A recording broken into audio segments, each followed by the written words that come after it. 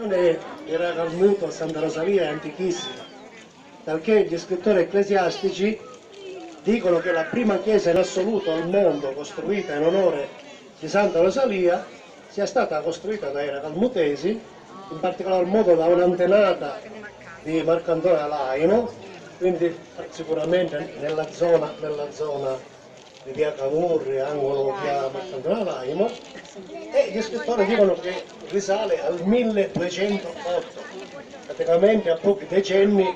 dalla sua morte, perché Santa Rosalia fu riconosciuta santa immediatamente subito dopo la sua morte perché visse in santità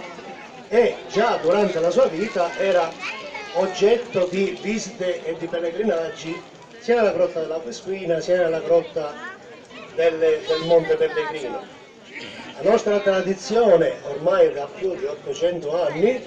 dice addirittura che sia nata casualmente a Racalmuto. E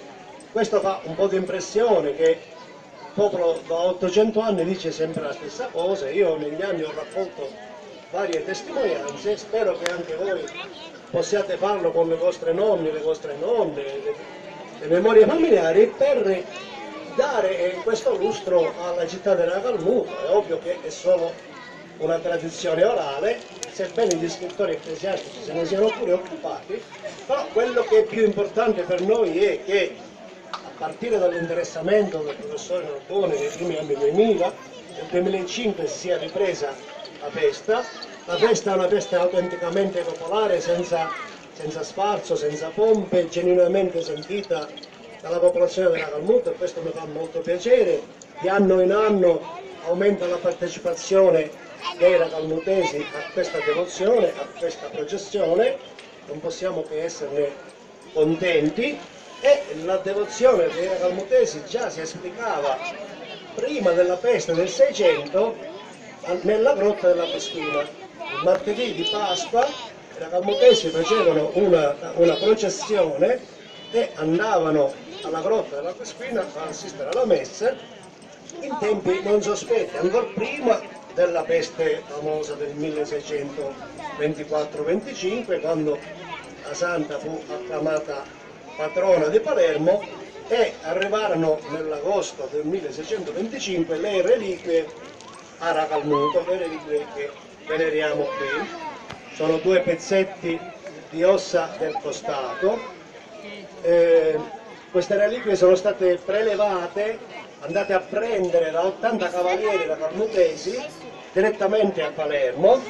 e poi sono state accolte con una grande festa, addirittura prepararono tre grandi archi floreali che io oh, spero sempre di poter rivedere in questo corso, magari uno per ogni parrocchia,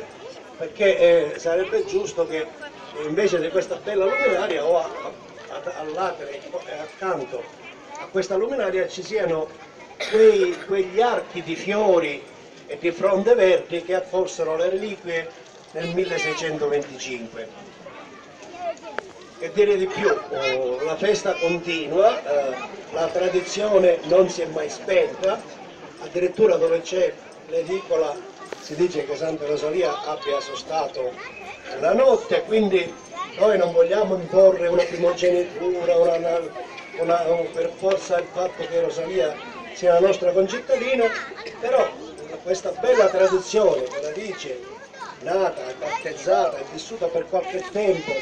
a Racalmuto ci fa sempre immensamente piacere. Io volevo